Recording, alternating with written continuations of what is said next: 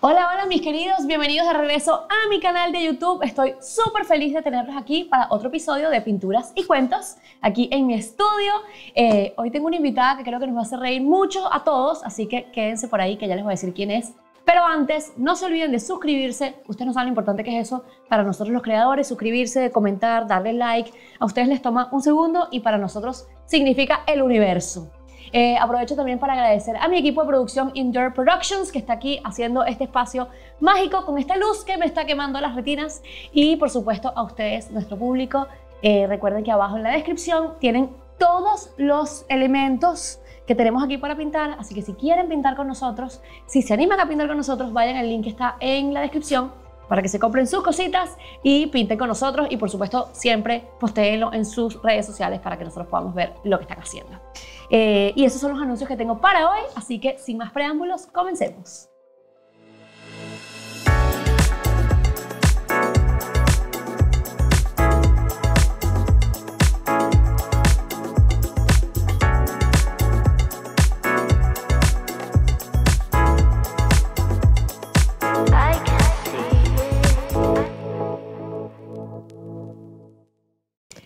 El día de hoy les traigo a una chica súper especial. Ella es podcaster, influencer y comediante. Con ustedes, Eugenia Siso. Hello, muchas gracias por tenerme.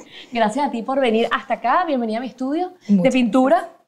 Eh, ¿Pintas? Sabes que ahorita que me lo dijiste, yo chiquita tuve una época que quise ser pintora. Okay. Pero era más por el hecho de que mi abuelo le gustaba Picasso, yo decidí que me gustaba, Okay. pero nunca fui como que muy, estuve en clases de pintura y tal, pero tengo Ah. mucho tiempo sin pintar, pintar. Bueno, pero esto es una muy buena oportunidad. Yo empecé a pintar hace muy poco y la verdad es que es una terapia que me encanta. Así que te la recomiendo. Espero que hoy reconectes con ella. Sí, es increíble. A mí me gusta full también colorear los, como los cuadernitos de mandalas. Ajá. Parecen la gente me ha dicho mucho que saque que bueno, que saque como cositas para pintar, así que estoy pensándome Ey, sí. Porque yo hago muchos esos patrones, como esas cosas que después puedes rellenar, es muy chévere. Eso está muy, muy cool, en verdad. Siento que, y además siento que es como una cosa de ser chiquito. O sea, Ajá. uno no se da el chance de, de, de no hacer nada.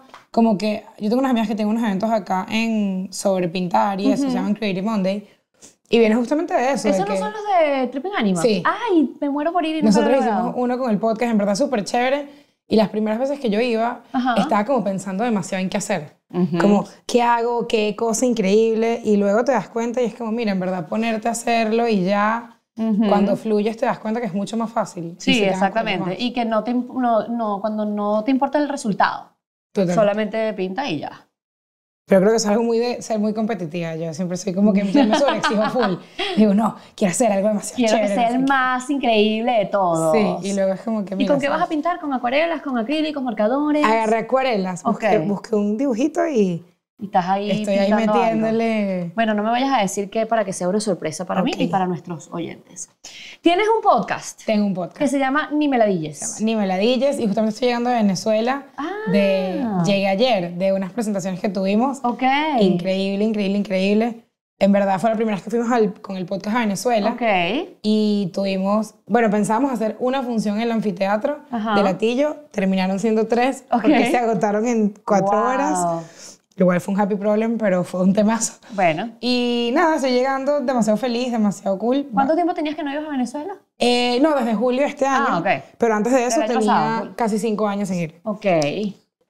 ¿Has ido tú otra vez a Venezuela? No, no desde que me fui en el 2010. ¿Qué? Sí. ¿Y quieres volver a ir o no? Me encantaría, pero todavía no tengo pasaporte y ha sido complicado. No, no, eso es un tema. Es un es tema. un tema y bueno, ahí vamos en eso. Pero bueno, cuéntame, ok, hablando de tu podcast primero, porque una de las cosas que más me llamó la atención apenas me enteré de tu podcast es que ustedes no están ni siquiera en el mismo continente. No, ni ¿De, de dónde hecho- salió esa idea? O sea, ¿por qué se te ocurrió hacer el podcast de la manera más difícil posible?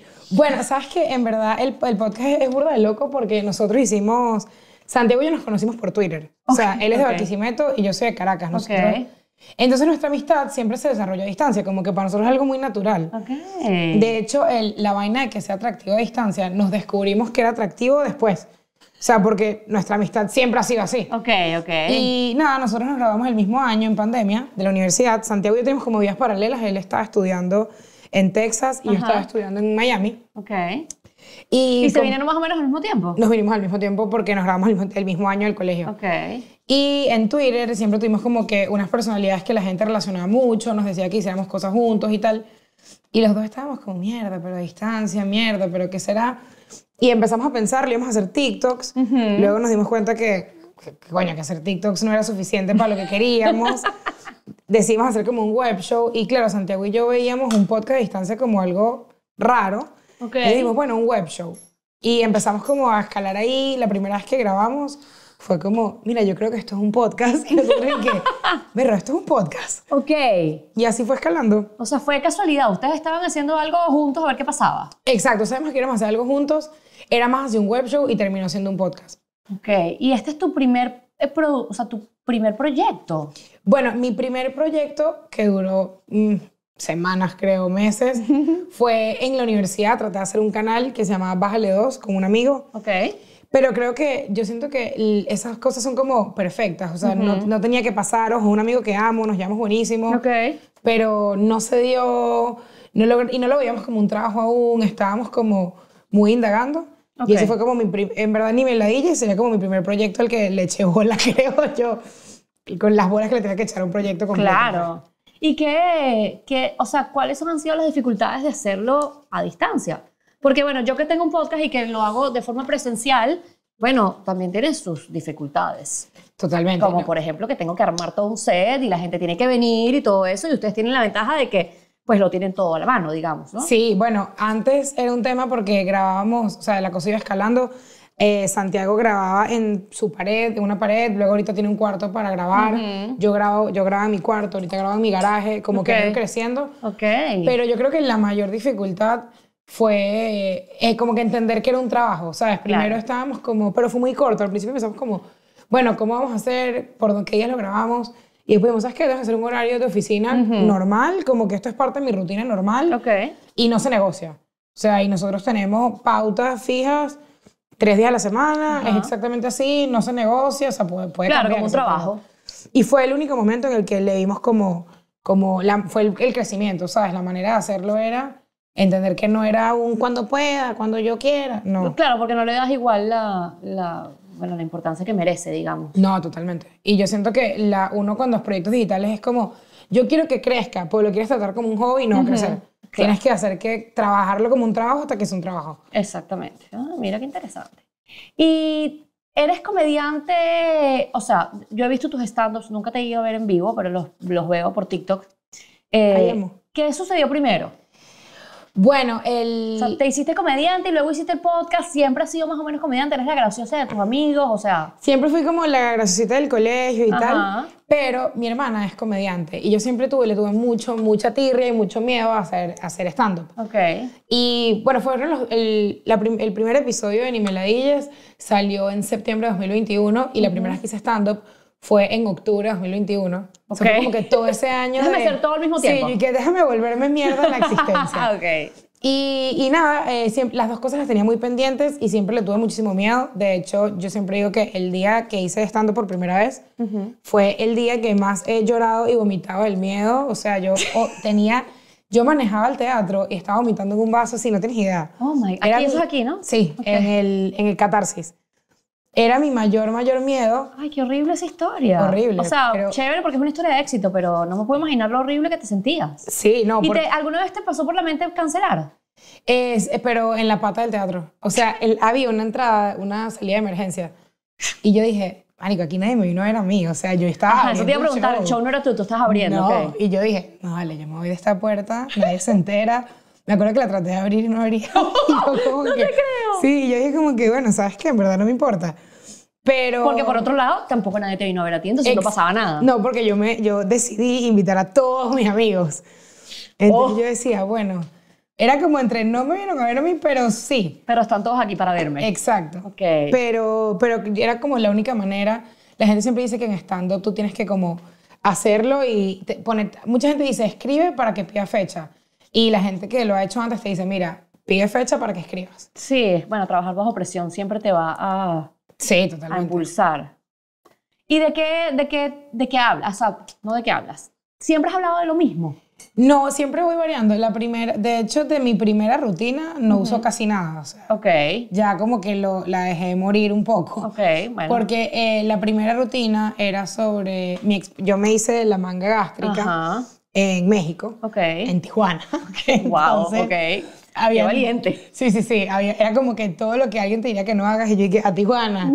¿Por qué O sea, a Tijuana? Perdón que cambiemos de tema, pero es que marico. Bueno, no, marica, no, o sea, tienes todo el derecho, todo el derecho de preguntar. Pero es muy loco porque somos como burda ignorantes en el tema. Yo me iba a operar en Venezuela, pero era la época que acaban de poner los vuelos separados y pandemia. Ok. Y dije, mierda, qué pedo estar recién operada y recién cortada con una escala, una escala de cuatro horas, ¿sabes? Claro. Esto, esto fue post pandemia. Sí, eh, bueno, 2021, como Sí, pospandemia. pseudo post, no sé, sabes que esa pandemia duró mucho tiempo. Nunca sé. Depende del país en el que vivieras, duró más sí, o sí, menos. sí, sí, nunca sé manejar cuánto tiempo duró. Ok, ok. Bueno, entonces como que me puse a averiguar, me iba a operar en Venezuela, eh, me pareció cero viable por todo esto que te digo, y cuando me puse a investigar me di cuenta que incluso le dicen el, el, el quirófano de los americanos. Oh. O sea, es muy común que la gente se vaya O sea, sí, es verdad, yo lo he escuchado, pero eso no quiere decir que no te genere un cierto Claro, porque uno piensa en Tijuana y en Colombia y tú piensas en Sí. te van a meter cemento en las tetas, Claro, es lo que doctor pasa. Cemento, pero doctor Cemento fue aquí. Exacto. Sí, Ah, ¿conoces ¿lo- la historia de doctor Cemento? Doctor Cemento, ¿eso es Sí. una- ¿en serio? Eso fue aquí en Miami, un, un trans, una persona eh, que, que le inyectaba a la gente cemento en las nalgas. Y estuvo, mató un poco de gente, obviamente. Y Fue, le pero decían sí, doctor. Cemento. Pero eso fue aquí en Miami, así que... mm, Así que exacto. Bueno, y cuando me puse a investigar, tengo full familia en México, me puse a investigar y me dijeron, mira, hay mucha gente que viene a operarse. Tengo una amiga que se había operado la nariz. Ok. Y resulta que eh, son como clínicas americanas, incluso, eh, ¿sabes? Son mucha gente de California Claro. que opera ahí porque es barato. Claro. Pero todo el equipo era trilingüe, o sea, una vaina increíble. Ok. Cuando me puse a investigar con ellas me dieron súper buen feeling y me terminé operando en Tijuana y gran parte de mi, de mi primera rutina era sobre eso. Ok. Pero claro, era como que lo que me estaba pasando en el momento. Ujú, Claro. Pero ya ahorita como la manga es una parte de mi vida, pero no es algo que me define como para ya hacer... pasó, ya Sí, sí, pasaste sí. esa etapa y ahora eres otra persona. Exactamente. ¿Y entonces de qué hablas ahora? A ver, el pues muchas veces hablo de, de- he hablado de relaciones fallidas, como cosas que he tratado, que cuando salí con gringos por, a mí no me salió bien salir con gringos por aplicaciones, ojo, tampoco con mexicanos, a mí las aplicaciones no me fue bien. En general el problema fue la aplicación y no sí, el sí, sí, gringo. no, no, no el gentilicio. Ok, ok. Y cuento como esas cosas. Tengo, hablo también de experiencias con la gente. La gente me escribe muchas cosas locas. Ok. Y yo soy de las que. re- ¿Tú respondes a la gente que te escribe? Sí, a todo el mundo. Sí, ¿verdad? Sí. Y a mí me pasa que yo soy como. Cuando me responden cosas muy locas, trato como que de seguir, decir como que hasta dónde va a llegar esta persona. Ok, no, yo no y hago eso, y eso me lleva a sitios muy raros. Ok. Entonces cuento muchas cosas de eso. Mi, mi comedia es full anecdótica. O sea, no soy Claro. como... Mi, ¿Sabes qué? Muchas veces es como que premisa, desarrollo, remate, que es como se escriben los chistes. No, no, sabes? tenía ni idea, Ok. pero buenísimo que me hayas informado de eso porque no tenía ni idea. Los chistes tienen como que una manera muy particular de escribirse, hay como que una fórmula. ok. Y yo voy como un poco más a anecdótica, que es como cuento. Como te Ok. puede ser, no sé, un Led Varela que echa un cuento Claro, largo y te va claro. Un dando cuento risa. gracioso. Exacto. Ok. Y así voy, pero va cambiando mucho y voy variando mucho porque eso, siento que la comedia yo la veo como algo muy de lo que te está pasando en el día. Claro, es que es bueno, tú estás contando tu historia de una manera graciosa y lo que alguien a lo mejor lo ve como un drama, porque seguramente que te pasan cosas difíciles y duras, tú tienes una manera de contarlo que se hace gracioso. Claro, No y, todo el mundo tiene la capacidad de ver el chiste en las situaciones. exacto, entonces yo lo trato de hacer como muy cíclico. Hay chistes que van sirviendo toda tu vida y, y los, te vas casando con ellos y los vas puliendo, que es lo arrecho. Ujú, claro. Pero hay muchos otros que simplemente es como, mira, esto me está pasando hoy, hoy me remolcaron. ¿Sabes? Tengo muchos de cuando, la primera vez que fui a Caracas. ¿Hoy te remolcaron o eso es un chiste que No, no, tienes? eso es un chiste. Ay. Un- tengo un chiste, tengo como todo un bloque de cuando fui a Caracas, todas las diferencias me remolcaron en el centro de Caracas, cosas que no sabía que pasaba. ¿Sabes? Tengo como muchas cosas así Ok. y las voy como puliendo y también Claro. voy como mezclando entre lo que tengo ya. ¿Y qué pasa cuando echas un chiste y nadie se ríe? Hace, hace un tiempo tuve a alguien acá que está empezando en la comedia, eh, más, más, más que comedias como monólogos, Ok. y dice que bueno, que ya una vez estuvo haciendo un chiste, le estaba abriendo a alguien y nadie se rió. Eso es horrible. Pero yo creo que la, lo, lo noble de la comedia es que aprendes a entender que eso es parte del... Claro. Como la, yo siento que la primera vez que te va mal es la peor cosa que te ha pasado. Ya después entiendes que es parte de la chamba. O sea, como que mi primera peor noche fue en Venezuela. El papel se me mojó, yo no podía leer. Oh. Me arreché y le grité a un tipo y que tú no es que estoy nerviosa, cállate, porque no se deja. O sea, Y ya, y como que vas- Ay. No, no, fue horrible. Pobrecito, Ok. te pido disculpas si tú sigues ahí, perdón que te mandé a callar el peor día de stand-up de mi vida. Pero después de que te vas de la tarima, le pierdes full miedo. Claro, como todo, ¿no? Al final. Totalmente. Siento que es como que uno le pierde mucho miedo al fracaso en stand-up muy rápido porque es como, mira, esta noche fue horrible y en ese mismo teatro, en dos semanas puede ser la mejor noche de tu vida que la gente se pare a aplaudirte. Claro. Entonces empiezas como a tenerle mucho menos miedo a eso. Por ejemplo, ahorita me pasó en Venezuela, me presenté, me estaba yendo súper, súper bien, Ujú. eh, pero yo tenía mucho dolor de garganta por todas las presentaciones Ok. y también el stand-up es como un tema de ego, ¿no? Tú estás ahí, te gusta, te están aplaudiendo, se claro. están riendo. Y yo solté, dije como que me queda, dije, ¿cuánto tiempo me queda? Me dijeron y dije que, ¿sabes? Pero me quiero bajar, ya estoy lista, muchas gracias. ya, y como que al final yo estaba serio, yo estaba como comediante de un circuito, no era solo yo. Y como que aprendes a decir, y que, ¿sabes qué? Habrá quien diga que no fue mi mejor noche, está bien, yo me quiero ir, estoy cansada, me Claro, garganta". ya, y lo- es aprender, sa- saber también cuándo es el momento de bajarse, me parece que también es importante. Sí, que pasa mucho que en, yo, yo estaba con comediantes que me han invitado a circuitos y me dicen, mira, pero porfa, cumple con el horario. Y yo como que, claro, o sea, con el tiempo que te dan. Y yo como Claro. que, claro. Pero hay comediantes que no, que se engolosinan y se mantienen en la tarima por un tema de ego. Yo estoy aquí, sí. Y la gente se está riendo y aquí yo Sí, me quedo aquí es una- para siempre. Y eso es una hija de puta. A mí me parece una hija de puta, pues. Como volver mierda al circuito porque estás conectada con la vaina y estás tripeando. Sí, eso no, bueno, eso es una gente que no es puntual y que no respeta el tiempo de los demás. Sí, es un, es un tema. Bueno, me estabas diciendo que tu hermana entonces es comediante, o sea que Sí. es una cosa de familia. Sí, sí. ¿Tienes más hermanos? No, somos solamente dos. ¿Y ella dónde vive? Bueno, mi hermana ahorita está en Venezuela, pero vive aquí. Normal, ella está ahorita, tiene meses en Venezuela esperando su visa, esos Ok. procesos infinitos, pero vive aquí en, en Miami. O sea, que ¿y hacen comedia juntas? No hemos hecho, o sea, hemos hecho, estado en circuitos juntas y hemos Ajá. hosteado juntas, pero queremos empezar, queremos hacer un show juntas, que sería increíble porque además creo que es algo particular, dos hermanas que hacen stand-up, Súper. súper particular, y nuestras comedias, aunque se parecen, Ajá. son muy diferentes. Mira, yo te voy a decir una que- cosa. Yo me estoy haciendo aquí una cosa que no está quedando tan bien, pero si tú cierras los ojos un poquito Y volteas la y, cabeza. y volteas así y las sacudes, yo creo que puedes entender lo que yo estoy tratando de hacer. Yo tengo un dibujo que busqué en Pinterest Ajá. y este es como el, el primo, pues. O sea, se conocen, pero no que tú digas. Es el mismo, primo no. que es hijo de dos primos. El hijo que es hijo de dos primos que no crecieron juntos. Claro, claro. O sea, sí, ahí va. Ahí Pero va. aquí vamos, ¿no? Y le he metido el dedo varias veces. Eso me pasa cada vez que quiero pintar con, con acrílicos. Pero que me colapsé un momento, pensé que no estaban aquí y bueno, no pasa nada. Yo sé Hay que un camino. Hay un funcionará, camino. Funcionará. Yo estoy creyendo, creyendo en el proceso. Bueno, hablando de creer en el proceso, ¿tú crees en manifesting? ¿Sabes qué? Yo por un tiempo pensé que no, creía, Ajá. Pero luego me he dado cuenta que la base de todo lo que hago es creer en eso. Yo soy muy, o sea, porque yo siempre decía, mira, yo lo merezco, ¿sabes? Yo estoy hecha para eso, lo sé. Ajá. Y ahorita me, creo que he aprendido que lo soy y que no lo sabía. Como que sí creo full en que si algo es para ti, no hay ni que te quites ni que te pongas. Claro. Y he estado como, sí, como ah, entendiendo más ese proceso y, y tripeándomelo más. Pero sí creo que soy manifesting, la verdad. Sí, ok.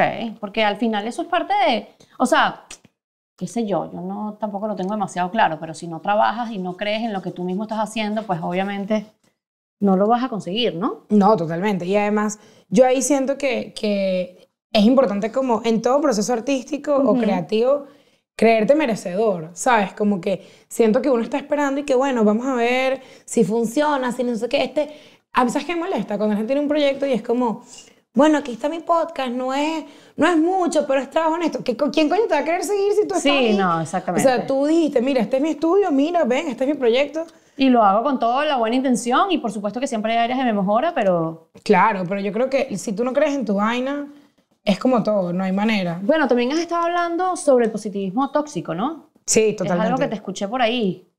Que yo siento que es, que viene como muy de la idea de la gente que es como, si Dios quiere, todo es perfecto. Y yo como que no, sí, no, pero las cosas hay que trabajarlas. O sea, Ajá. de nada te sirve manifestar si, si no estás haciendo nada por ello, ¿no? Puedes manifestar mucha plata, pero si estás a tu casa hacerla, triste. Sí, exacto. Yo puedo, yo puedo, yo puedo, pero yo lo estás haciendo. Y además, ¿sabes qué me molesta del, del positivismo tóxico? Lo que más me ladilla es el tema emocional, como que no estés triste. No, no, yo quiero estar triste. O sea, yo quiero, en este momento yo quiero estar muy, muy triste y quiero vivirme mi tristeza un rato, pues. Claro, vivirla, ¿no? Y sentirla. Y, y como que dejar de tener mi- eso no es mal- o sea, no es un- los sentimientos no son malos o buenos, No, ¿sabes? claro. Como que, que tú sientas rabia, bueno, no te hundas en tu rabia ni cometas una locura por tu rabia, pero está bien que tú estés arrecha, pues, o sea. Entonces Sí. creo que ahí es donde lo que más me ladilla del, del positivismo tóxico es eso, ¿sabes? El, Bueno, El- lo que pasa es que también estamos en todo lo que es las redes sociales y vivir en un mundo de redes sociales es muy difícil porque la vida parece perfecta. Totalmente. Y nos gusta seguir a gente que es bonito. Claro. que es aesthetic. Esa es la palabra, la nueva palabra, todo es aesthetic. Verga, sí. Entonces es, todo es bonito, hasta la tristeza es bonita. Entonces, bueno, es difícil, tú que vives en redes sociales sabrás que te consigues con cualquier cantidad de cosas. Sí, y no te pasa que creo que tu, yo he visto contenido y tu contenido también es full wholesome y que la gente agradece unas cosas que a ti te parecen tan claro, es como, eh, vamos que sea sincera y yo como que, pero es que la gente debería ser Sí. sincera, pues. Sí, sí, sí, sí. O que cuentes las cosas así, que te abras, o que muestre una vez, bueno, porque yo pasé por una situación eh, hace poco, entonces eh, he sido bastante, abi- bueno, no he sido tan abierta, pero digamos que he mostrado, por ejemplo, cuando posteé fotos llorando, la gente que, wow, qué bueno que te muestres así, y que bueno, Humana, o sea, eh, exacto, sí. normal, es normal que haya llorado, ¿no? Acabo de pasar por una situación bastante difícil en mi vida. Claro, y, y, y es eso, como que ese tipo de cosas también me pasa que, no sé, capaz te pasa a ti también el tema de que la gente te escribe y te cuente cosas de su vida que tú y que, mierda, porque, me, porque estoy recibiendo esta información. Ajá. Bueno, y tú utilizas la informa o sea, utilizas esas cuentas de la gente en tu comedia. Sí, siempre, siempre. O sea, y de hecho hay, hay, hay en nuestra, nuestro show de Venezuela había un voice act y todo de un chamo que se volvió loco y dijo cualquier cantidad de cosas. Y no mostramos su cara ni nada, pero Ok. sí, es como, mira, este es un contenido que tú me estás dando, pues. Claro. Pero Lo estás lo poniendo que- en el internet.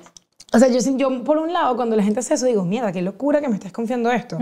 Pero también como que qué lindo, ¿no? Y también pensar que esa persona probablemente no tiene que otra persona decirle, decirle eso. Bueno, es que también eh, el internet te permite, primero, no mostrar la cara, Claro. que es, que es maravilloso poder contar las cosas y mostrar la cara, y contarle las cosas a alguien que no te conoce. Entonces, si te ju- juzga o no, no importa. Claro. Y también, o sea, es como que, bueno, si me juzgan, la verdad es que me da igual porque, porque más nunca te voy a ver. Y uno también escoge a quién contarle las cosas. Totalmente. Entonces voy a contárselo a esta persona que yo creo que va a estar de acuerdo conmigo. Sí, totalmente. Eso es como tu amiga que, que tiene un novio y no le cuenta a la otra y tú que claro, porque sabes que esa te, Claro, te va a decir que va estás cagando. Tú le dices a quien, a quien te va a decir, claro, amiga, sigue con él. él te-". Claro. que, que siento que eso pasa también cuando la gente termina, es como que, marica, pero ¿cómo? Se veía tan perfecto. Y que no, porque yo no te contaba todo lo malo. Claro. o sea, bueno, pero ahora es la que te dice que por fin te terminaste, era horrible. ¿Por qué no me lo dijiste antes? no, de verdad. Eso me lo vas a decir ahorita.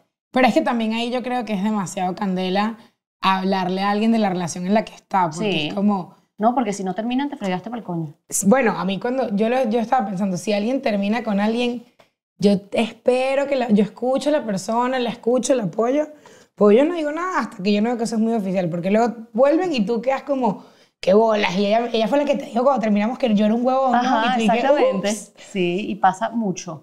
Sí, sí, sí. Yo Bueno, creo está la gente que te cuenta las cosas eh, bonitas y que te agradecen, y luego está la gente que te odia en el internet. ¿Sabes que Yo no sé por qué. Yo, bueno, yo recibo mucho odio en Twitter. Ah, Pero bueno, o sea, a ver, como que creo que para eso es, ¿no? O sea, Claro, para que te odien y- y, desafortunadamente. ya. Que, y antes no era así. O sea, yo antes amaba Twitter. ah, yo no, no. Sí que yo nunca. Ok. Pero se fue como volviendo una cosa muy loca. Pero en DM no suelo recibir odio. ¿Tú sí recibes full odio en, en DM? No, o no, la verdad es que no recibo, pero sí eh, sé que hay mucha cultura del cancel culture y que la gente se arrecha y, y, y la gente que, o sea, más allá que odio, es como opiniones, muchas opiniones. La gente tiene muchas opiniones sobre mi vida personal. Entonces es como... Bueno, yo vi, ¿sabes qué? Tú y yo nos hacemos las cejas con Astrid. las dos. Y vi que subió el video y la gente, ¿por qué ella se hace las cejas Sí. así? Y yo como que, ¿pero qué coño te importa? O sea, Sí. de verdad, monten un arroz, que ladilla. O sea, Vayan a montar un arroz. yo no entiendo, porque además yo digo, habrá algo más ajeno a mí que tus cejas. O sea, como que no se me ocurre nada que me pueda saber más a culo que tus Exacto, cejas. que me puede afectar menos. Claro, o sea. Y Sí, si la te gente- gustan, te las tripeas. Y además, bueno, y eso con mis cejas y así con mi vida personal. O sea, Ah, ¿por qué claro. hiciste eso? ¿Por qué tomaste esa decisión? ¿O por qué no nos estás compartiendo tal o cual cosa?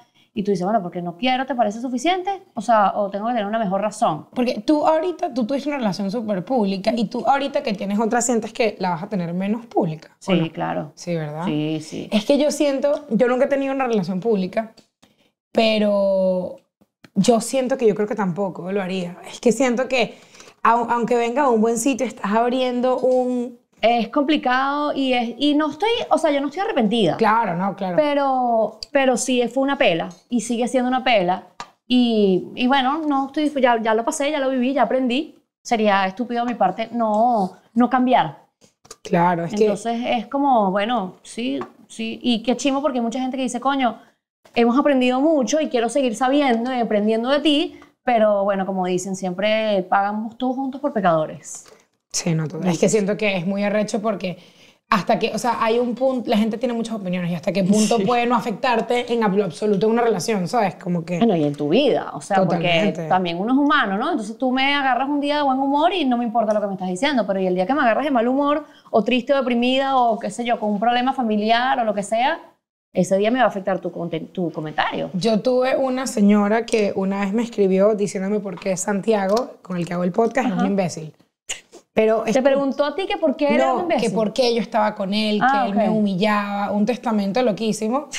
Y muchas veces uno no contesta, pero esta vez me arreché porque... bueno, Porque te agarró un día. Exacto, me agarró un día en el que yo este, tenía ganas de recharme y quejarme. Bueno, ¿y quién te dice a ti que la tipo me dice, me parece muy poco profesional que tú respondas esto? ¿Qué? Esto es como una caja de sugerencias. No, y yo no señora. estoy escribiéndote para que tú me respondas, o sea, tienes que buscar qué hacer. Yo como que tú me estás insultando. Sí, sí, eso es típico cuando te dicen, no, pero no te reches. No, y ayer hice, hice unos, hice un live y estoy contando que, bueno, que estoy sumamente cansada, que fueron semanas en las que hice más de 30 pautas, en, o sea, fue horrible, estuve Ok. muy feliz, pero bueno, muy cansada, pues.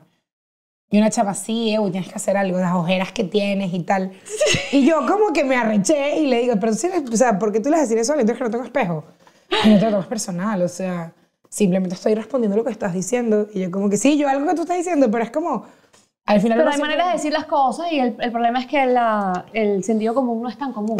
No, es el menos común. Entonces, bueno, lo que 100%. para ti es normal, para otra persona quizás no lo es. Y ella te lo... ese es el problema, que la gente, la mayoría de las veces viene de un buen lugar. ¿O sabes? Ellos te lo están diciendo con buena Por cuidarte intención. hasta un punto.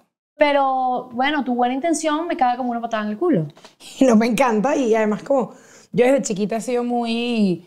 Ay, Eugenia sí es antipática, porque le decía a mi tía, no, no me hables así. O sea, yo era como que siempre he sido como muy de poner límites desde muy chiquita. Ok. Entonces, es como que, mira, si yo a mi tía que viene y me dice gorda, le digo, cállate. ¿Tú crees que yo a ti que no te conozco no te lo voy a decir? Estás equivocada, Claro. Lourdes. Porque además eso ha sido un tema importante en tu vida, ¿no? El tema del sobrepeso. Sí, fue durante mucho. Yo fui como eh, gordita toda mi infancia. Ok. Que no, o sea, siento que yo empecé a entender que era un problema cuando, como en bachillerato, que me empezaron a gustar, ¿sabes? Los carajos y, y empecé a entender que yo simplemente no estaba en el juego, como que yo era la amiga de preséntame a alguien. Y creo que es algo que... Además eras graciosa. eh, claro, y además era sobre graciosa porque, bueno, si a estos tipos yo no les gusto, será mejor que les dé risa. Claro. Entonces, es un, un me- mecanismo de defensa súper candela. Claro. el- porque poco, o sea, lo- y me di cuenta de eso en TikTok de grande. Oh. El ser la amiga que nadie, o sea, ser la chama que, tení, cu- ay, cuádrame a tu amiga. Ok. Que tú dices, ay, sí, no importa, pero crecer, más en esa época que estás toda buscando todo esto y Claro. tú como que... Claro que la afecta. Sí, o sea, dicen invita a una amiga y yo sé que yo no soy la amiga que querían invitar, pues. Ok, wow. Muy loco, muy, muy loco eso. Y se llama el, el, el concepto en, tu- en TikTok, le dicen como que la amiga que no eligen, una cosa así. Y es súper arrecho porque yo nunca lo había como... Wow, no sabía que eso era. un- Es que yo no estoy en, en TikTok. Digo, en Twitter. Ah, no, eso fue en TikTok. Dije Twitter, pero era TikTok. No, no, dijiste Twitter. Ah, pero era TikTok. Ah, pero era TikTok. era Entonces TikTok, era estoy. TikTok. Ah, bueno, pero claro, el algoritmo es, es un tema. El algoritmo es un tema. Sí, tienes mucho tiempo. Bueno, tú eres, tú eres, ¿con cuál es tu Gen Z? Yo soy 96, entonces estoy como que entre Gen... Soy la línea entre Gen Z y Millennial. Y mile... Nah, tú no eres millennial. Yo me considero mucho más Gen Z, la verdad. Claro. Sí, ¿verdad? Sí, yo ¿Tú soy qué eres? millennial. Tú eres Millennial. Claro, yo soy, sí, yo soy millennial. Pero sí, es, es- son, son, son. O sea, son esas cosas que uno se identifica con algunas cosas y otras que definitivamente estamos bastante lejanas. Y yo creo que lo arrecho de eso es como que estar bien con estar, ¿sabes? No es como que, no, yo tengo que ser homofóbico, soy Gen X, es como, no, hijo de puta, ¿sabes? Como que está bien tomar de, de cada generación lo Claro, que... ¿no? Por supuesto, no existen los absolutos, o eso es lo que yo creo. Exacto, que siento que hay gente que se tapa con eso y dice, no, bueno, pero es que si yo soy esta gente, es como que no, coño. Sí, no, ni un poquito. Tienes todo el derecho de elegir y cambiar. ¿Cómo va tu dibujo? Creo que, creo que tiene un camino. O sea, 100% creo que lo va a lograr, porque estoy haciendo la base y creo que lo hice como desordenado, pero creo que sí. Ok. Que te- yo creo que... O sea, el mío este, mejoró, no te voy a decir que no mejoró, pero eh, eh, bueno, eh, tiene textura y tiene movimiento. Yo creo que yo creo que les va a gustar, yo creo que les va a gustar. Yo creo que... Porque lo que pasa es que es como una pintura, o sea, ¿te digo algo o no? ¿Te Sí, digo claro. cosas? Ok, es como un paisaje, entonces Ajá. como que me puse a analizar la vaina y me puse como a hacer la base. Ahorita que voy con los detalles, creo que sí puede... Ah, eso es algo que pasa mucho, que haces la base y no se entiende y luego cuando le haces los detalles dices, ah, pero si te das por vencida antes de que llegas a los detalles, entonces Exacto, creo que, creo que sí puedo lograr un algo. Mira, hablando un poco sobre la comedia como parte de tu vida personal, que estabas diciendo que era como tu mecanismo de defensa. Sí, lo ¿Y fue. sigue siendo? Eh, creo que ya no tanto, porque lo he trabajado mucho en terapia. Ok, ok. Yo, yo era ¿Haces como... terapia? Sí, Qué bonito. amamos terapia. Amamos la terapia. Vayan Y- a terapia, por favor, todos. Vayan a terapia. Yo la dejé tres meses y... mm, o sea, hay gente que la deja y vuelve. Yo siento que para mí, Ajá. para mi proceso y uno que está como tanto al ojo público y tal, Ajá. yo no la volvería a dejar. Bueno, lo que pasa es que yo creo que también en algunos casos muchas veces se convierte en un en una como una muletilla. Claro, Entonces, yo creo que dejarla de vez en cuando para ver cómo te va en la vida real, exacto. Darle ver cuáles son las herramientas nuevas que necesitas, aprender cosas nuevas y luego volver a terapia a los dos o tres meses y decir, ok, esto ya lo aprendí, esto no lo aprendí, porque hay muchas veces que tú no sabes que algo te, te, te galleta- gatillea en trigger Exacto. hasta que no lo vuelves a vivir. Si no, ya yo superé eso y de repente resulta que te viene algo y te vuelve a tumbar. Exacto, y a mí mi, mi, mi terapeuta me dijo como que, mira, quizás ahorita no tienes una pregunta, Ujú. vete un ratico y vas a, va a- alguna pregunta va a aparecer. Y yo como Exacto, que- tráeme preguntas. exacto, como que... Pero también creo que eso depende, no, soy súper ajena, pero creo que como que depende del tipo de terapia que hagas. Hay Claro. una que es como dejar, otra que no, no sé. Bueno, como todo en la vida. Pero yo siento que... Ajá. Me estabas contando de la comedia y si es un... Exacto, yo siento que lo he dejado de ver como un... O sea, yo antes como que aligeraba mucho mis sentimientos en chiste, como que, Ajá. ajá, bueno, acuérdate que yo soy pendeja. Ok. Y ahorita es como que soy súper picky con eso. Ok. De hecho, cuando alguien me dice que, bueno, vas a pensar que es tonto, yo soy como que no, no vas a pensar que es tonto, tus sentimientos son válidos. Me meto como que esta, esta hippie con el peo de no. Entonces creo que poco a poco he ido logrando que no sea tan, tan mi método, mi mecanismo de defensa, pero cuando estoy, o sea, por ejemplo, soy de las que se puede reír en momentos que no me quiero reír Ajá. y hacer chistecitos que digo como que "Ay, no sé por qué hice ese chiste, perdón. O sea, es como que, ¿Has metido la pata? sí, yo, yo, Yo, me, porque yo me río en los funerales siempre. Tú me dices que se murió alguien y me voy a reír. Y es además horrible. como que yo, no, yo, yo en funerales me he reído, pero además soy muy como, o sea, sí siento que de todo se puede hacer chiste, pero quizás no en cualquier momento. Entonces es como, bueno, igual terminaste con ese pavú que va, mis amigas y que no, no, es que estoy llorando. Y que, ay, verdad, estamos tristes. Estamos tristes. Se me había olvidado. Ok, ok. Eso sí. ¿Y has perdido amigos por, el, por los chistes? Eh, siento que los amigos que perdí no, no han sido amigos, sino que gente que igual no era amiga mía, Claro, ¿sabes? Como que, claro. por ejemplo, yo he hecho un cuento de, de cuando yo estuve en Moon y un chamo en Moon que era un... Wow. Que era, sí, sí. Yo soy todos los clichés caraqueños. Moon, gaitas, todos los clichés caraqueños. Acabas de desbloquear unas memorias que Sí, era. sí. Bueno, entonces yo conté una vaina, estábamos haciendo un episodio sobre colegio y conté algo en que este chamo fue un bobo, pues. Y el chamo me escribió, yo como que, mira, o sea, tú nunca has estado en mi vida, o sea, pero Él se algo que- ofendió. Sí, sí, sí, Por un mismo. chiste que tú hiciste años contando después. una cosa, sí, yo como que, Wow. como que formalmente perdí a alguien, pero lo Claro, tenía, coño, no. Exacto.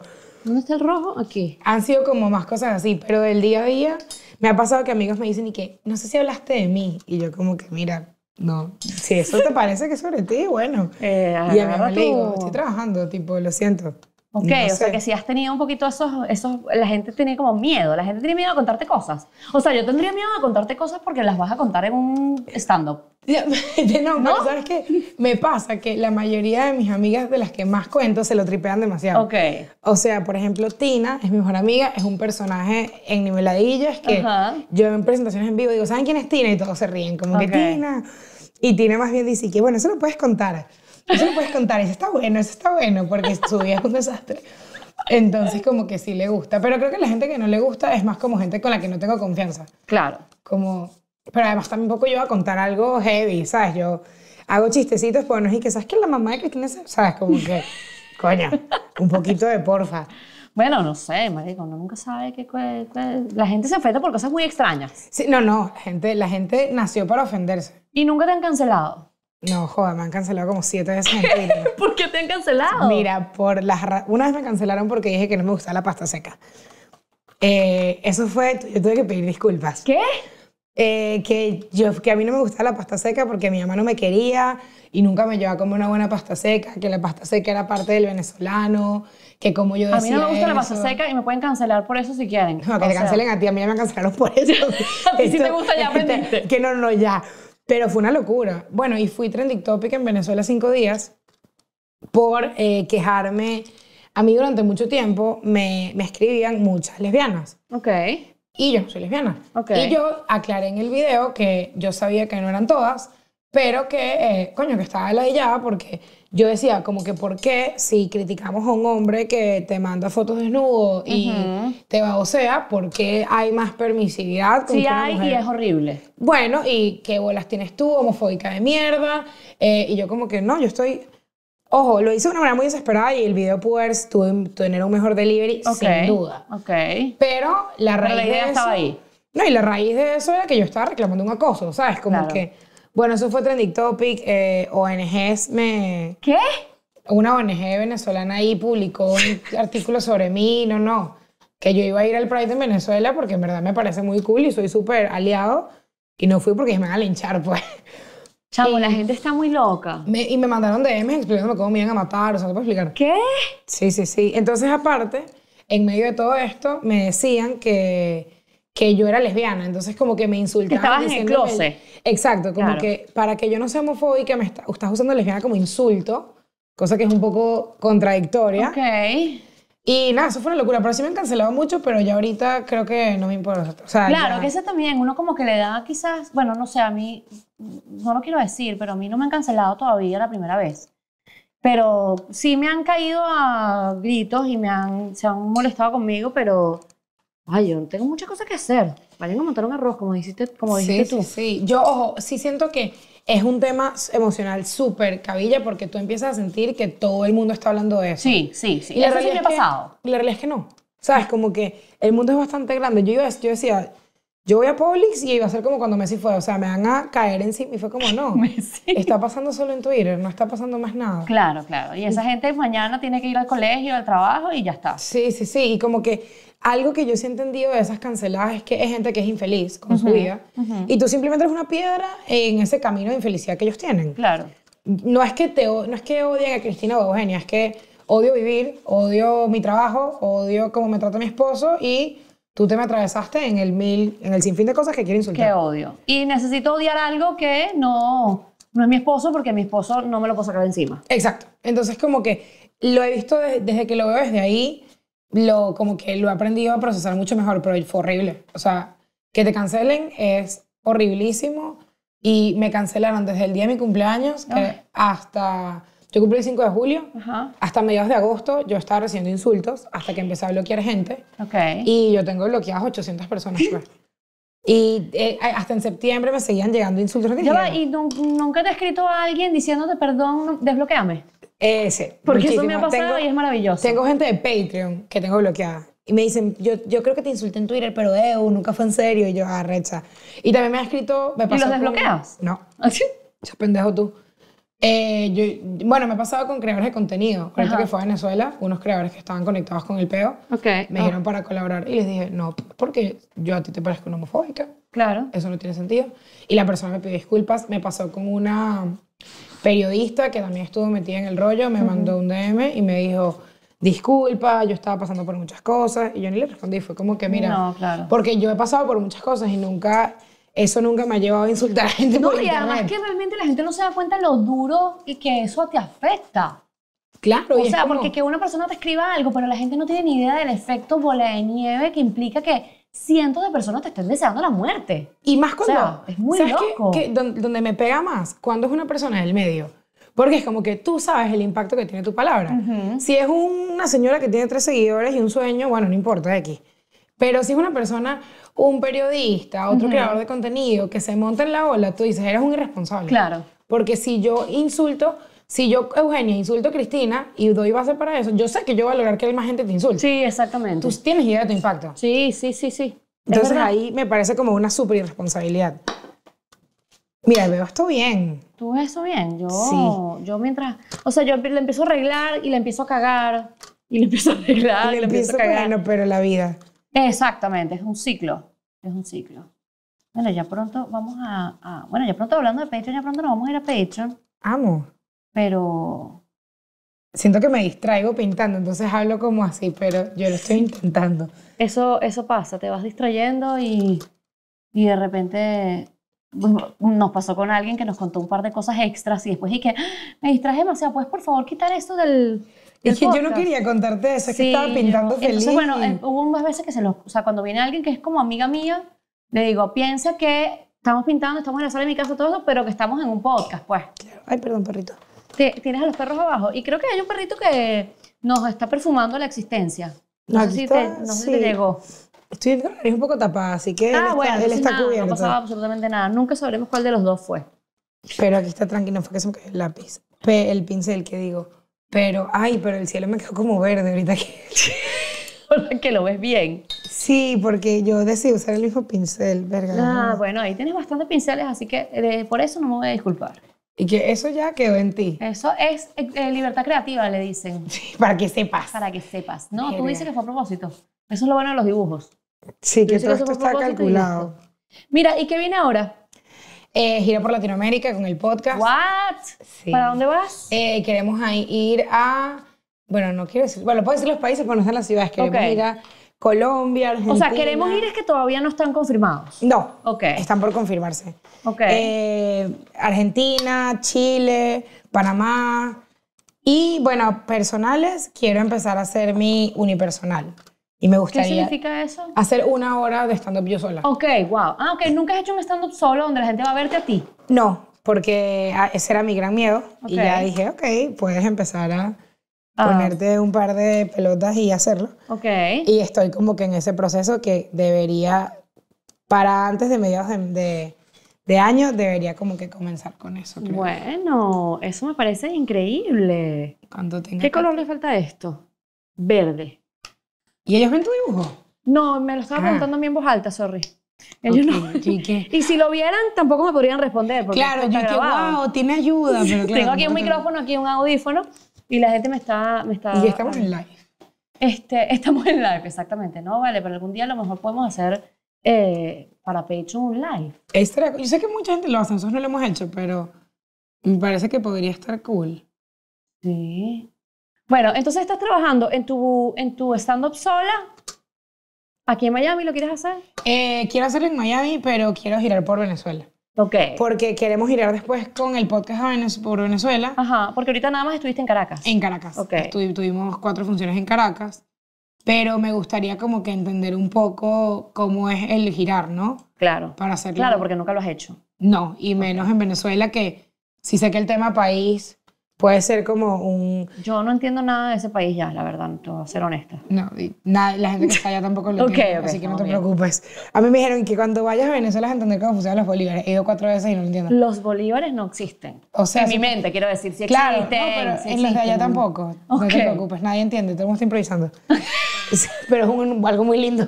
Claro, estamos todos flotando, ¿no? Exacto. Pero, pero sí, gente que ha girado por el país me dice que, es medio tema los lugares, bueno, no sé si hay luz, vaina. Entonces como que... no Bueno, eso me han quisiera- dicho, que de hecho hay mucho lujo. Sí, sí, sí. Es- pero tienes que como que tener muy claro a dónde ir, qué hacer, con quién contactar. Entonces, bueno, quiero hacer eso y luego queremos ir también por Estados Unidos. Ok. Y también me gustaría hacer mi... Tenemos mucha gente, bueno, aparte de, de Nimeladillas, yo, tenemos gente en Nueva York, vaina, en, en Texas hay un montón. Claro. Entonces, por ahí ir como... Bueno, exacto, en donde estamos nos, los venezolanos regados por todos lados, ¿no? Por ahí irme y luego ir viendo, coño, ahorita sí la cagué. Y ya se te nos está acabando el tiempo, así que arréglalo. Dios, pero es que me fui, tú, fui muy ambiciosa. Yo pensé que iba a tener más tiempo.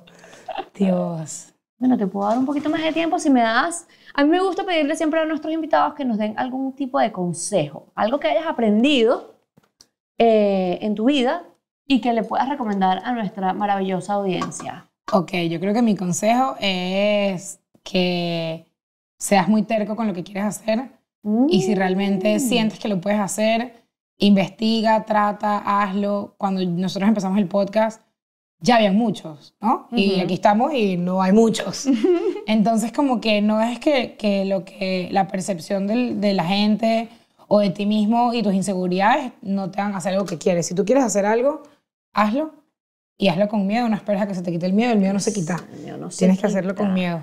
Cuando ustedes empezaron el podcast, ¿tenían la intención de que fuera tan grande y tan exitoso como es? ¿O era como un proyectico? Eh, creo que siempre lo vimos, siempre supimos que podía ser algo grande. Ok. De hecho, me acuerdo que estábamos haciendo el concepto y dijimos y que, bueno, y esto podría estar bien en vivo. Y eso que, verga, en vivo. Y fuimos como, bueno, Wow. seguramente se llega en vivo. Entonces, como que siempre soñamos grande. Nunca supimos cuánto tiempo iba a durar. Ajá. Creo que eso fue lo impresionante, como la velocidad que todo pasó. Ok. Pero siempre tuvimos como la idea de que fuese algo que iba a ir más allá. Eso es importante, que es un poquito lo que estábamos hablando al principio de manifesting. Total, creer en tus cosas y, y no pensar, esa, la idea de que hay mucho de cada cosa, creo que es algo como muy ochentoso, ¿no? Como claro. la, el rey del pop, vaina, pero realmente, o sea, que alguien vea tu podcast no sé que no vean el mío, ¿sabes? Como que, No, y es que es una de las cosas que, o sea, que necesitamos demasiado contenido y demasiadas de demasiadas cosas. O sea, ¿cuántas marcas de mayonesa hay? claro, y eso no significa que, que, que nada. Entonces yo creo que eso, si, te- si quieres crear o quieres hacer, hazlo y también como yo estudié marketing y yo por un momento dije no, una agencia y no sé qué. Ujú. Estudié marketing y PR y ahorita pienso en eso y me puedo vomitar encima. Entonces como que si tú te ves todo tu día en una oficina porque es lo que quieres hacer, hazlo. Claro. No, y también como Hay gente que le gusta eso, te digo. Claro, y hay gente que también es como que hay que emprender, no hay que emprender. Si tú quieres hacerlo, sí, si no, no. Hay Sí, gente- emprender no es para todo el mundo. Eso se puso como de moda y de repente la gente empezó a emprender, emprender, emprender, emprender y de repente se dieron cuenta que emprender es una pela. Totalmente. Y hay quien prefiere tener su 15 y Sí, 30. último y sus vacaciones. Y, es- y y eso está bien, como que sol- lo que te hace feliz a ti es lo que está bien. Exactamente. Que no se daña a nadie, eso es lo que está bien. Ese es mi mensaje largo de, de consejo. Estuvo muy bueno este consejo. ¿Estás listo para mostrarme tu dibujo? Eh, bueno, Porque ahorita nos vamos a ir a Patreon donde vamos a seguir hablando, pero no vamos a seguir pintando. bueno.